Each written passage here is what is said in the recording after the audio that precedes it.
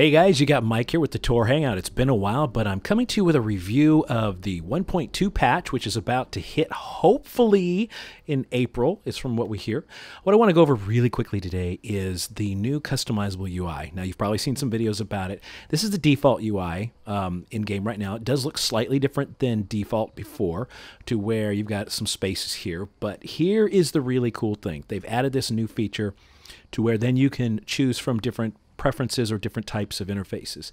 You can go to your extended quick bar, which um, makes it look just like it does in the current version, where you have a, a, bar on the side, both sides, and then you've got your extended here. You've got your your action bar on top, and then your I use remap mine, and of course I'm doing this slightly differently. You'll see here in a second.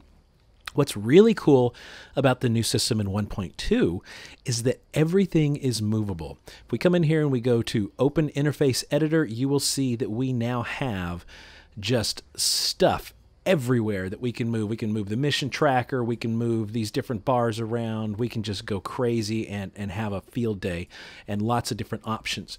You can create your own profiles within here, save them, and this is what I want to show you next. We're going to go ahead and shut this down cancel it. Uh, yeah, we want to leave that. So here we're in the default. If we come back into the uh, menu here that's right here on the left click, you're going to see that um, they've got a uh, three defaults. You've got the extended quick bar, which is like this. You've got the default, which is what we're used to playing in, in Tor now.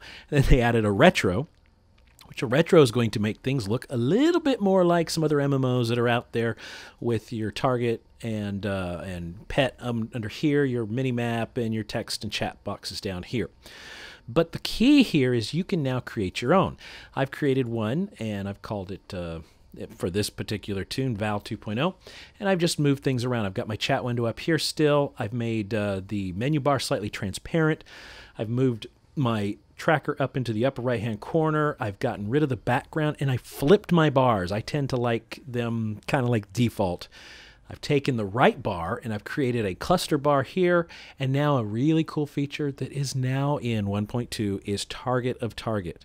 If I click on uh, somebody, let's see if somebody's looking at anybody and I can't get on them right now because my mouse is not working, you can see that this particular person is looking at that NPC. So this is fantastic. We have target of target. Um, love this idea. Okay, so I've moved everything around, so this is a nice configuration. Now here's what's really cool and what I'm kind of really excited about happening once this goes live, and that is um, I will share with you the directory where you can find these files every time you make your own custom layout, and then you can create as many as you want, different ones for different raids or or um, or whatever you want to do. I've got another one here called test. It's slightly different. Oh, I wanted to show you that real quick. You can do so much as as far as even detaching the tooltip. You see, it's now over on the right side instead of attached to the minimap. But these create XML files. These XML files can then be uh, sent to friends, they can then use them in their system.